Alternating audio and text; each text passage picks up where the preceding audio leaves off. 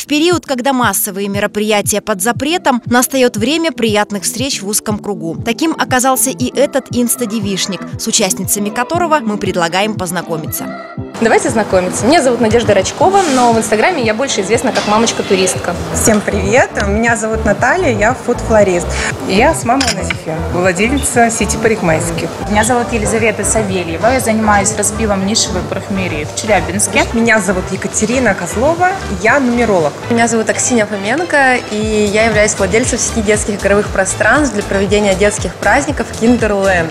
Все девушки являются активными инстаблогерами, рассказывая в своих аккаунтах и о своей личной жизни, и о профессиональной деятельности. Я просто обожаю путешествовать. Объездила уже более 30 стран на разных континентах. И я давно забыла о каких-то туроператорах, чартерах, э, различных турах all-inclusive.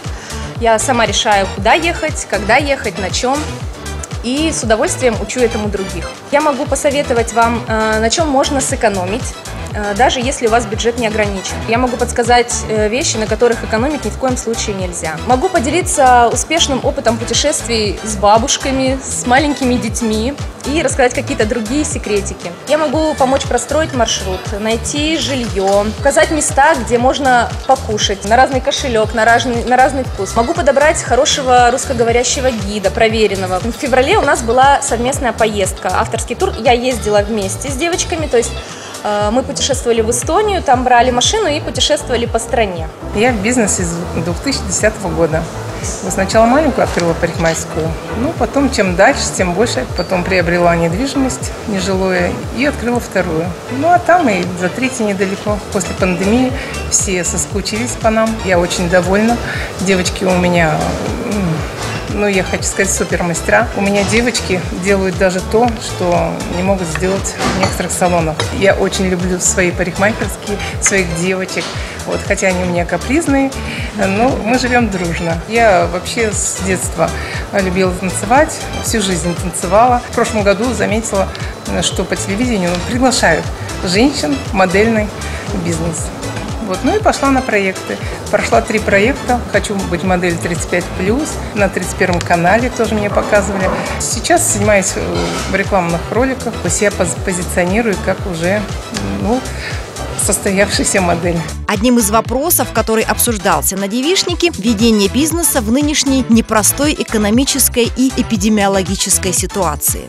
Во время пандемии, поскольку наши пространства не могли работать, да, во все это время мне пришла идея создать новый бизнес, а именно это доставка шаров э, Air Super Hero. Все свои бизнесы, все свои активности я провожу в Инстаграме. То есть на самом деле оттуда приходит клиентов пока э, порядка 40%. То есть это достаточно много. И на сегодняшний день, там, допустим, у нас Instagram Kinderland 174 э, среди детских игровых пространств занимает э, ну, лидирующую позицию, потому что у нас больше всех подписчиков. Э, около 6 тысяч человек. Почему у нас был такой большой резкий прирост? я думаю, мы дальше также будем расти экспоненциально, да, почему? Потому что мы постоянно снимаем сторис, мы показываем свои лица, мы показываем все наши работы, композиции, мы показываем то, как мы ездим на доставке, то есть мы ведем, по сути, блог по шарам, то есть они видят, что мы, я реальный человек, да, вот я надула шарики, вот мы такую композицию красивую составили, вот мы приехали на доставку и так далее. Помните, как Билл Гейтс говорил, если вас нет в интернете, значит, у вас нет бизнеса. Те люди, которые потеряли работу, и э, для них как раз возможность определиться, где он еще может реализоваться, в какой сфере он может реализоваться. Но вот сейчас тот момент, когда нужно что-то перестроить и начать дальше действовать. Нумерология позволяет определить э, углы конфликта между людьми. Можно сохранить отношения, зная, что э, выводит из себя твоего близкого человека, ты можешь аккуратно сглаживать этот угол и не давить на эту больную мозоль. Выпускные прошли, и э, родители сталкиваются часто с тем, что дети не могут определиться, куда они хотят идти, ну, в силу того, что родители, опять же, да, пытаются реализовать свои какие-то нереализованные амбиции в своих детях, не понимая, что каждый ребенок приходит со своей определенной программой, со своим талантом. И на самом деле задача родителя помочь узнать, какой есть талант у ребенка и помочь ему этот талант реализовать. Нельзя сопротивляться тому, что твой ребенок хочет где-то реализоваться, если он действительно, у него есть к этому талант. Нужно ему помочь. Тогда дети вырастают успешными и благодарными. Дата рождения позволяет э, максимально раскрыть возможности человека, определить его сильные и слабые стороны и ту сферу, главное, где он может максимально успешно реализоваться. От воздушных шаров переходим к подаркам. В данном направлении, но каждая по-своему, работают еще две участницы встречи.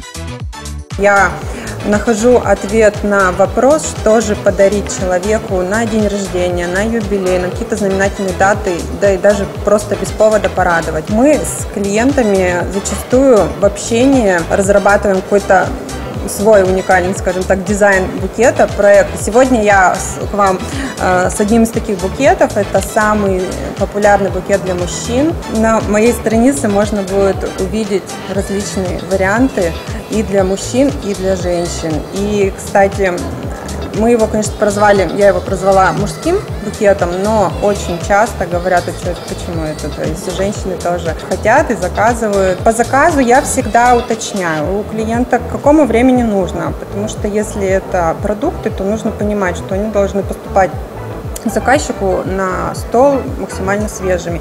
И если это морепродукты, то я начинаю их готовить, да, то есть я их варю уже, изготавливаю э, за два часа до того, как выдать. Что такое распив парфюма? Во-первых, это возможность прекрасно сэкономить свой бюджет. Во-вторых, это возможность составить шикарную парфюмерную коллекцию. И в-третьих, если вы заходите в парфюмерные супермаркеты и смотрите на заветные флаконы, и хочется и колется, я та фея, та волшебница, которая может помочь вам обрести желанный аромат и правильно подобрать его. Берется оригинальный парфюм, убирается спрей, и посредством через шприц с минимальным количеством кислорода необходимое количество парфюма помещается в атомайзер.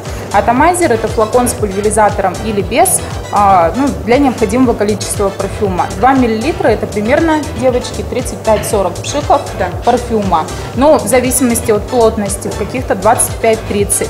30 а пшиков это то количество, которое позволяет вам понять, подходит ли вам парфюм, хотите ли вы его в полноценной более большой версии да, и так далее. Таким образом, мы, к примеру, затрачиваем там 1200 рублей вместо 25 тысяч и понимаем, хотим мы с этим ароматом да, проводить свое будущее, либо не хотим.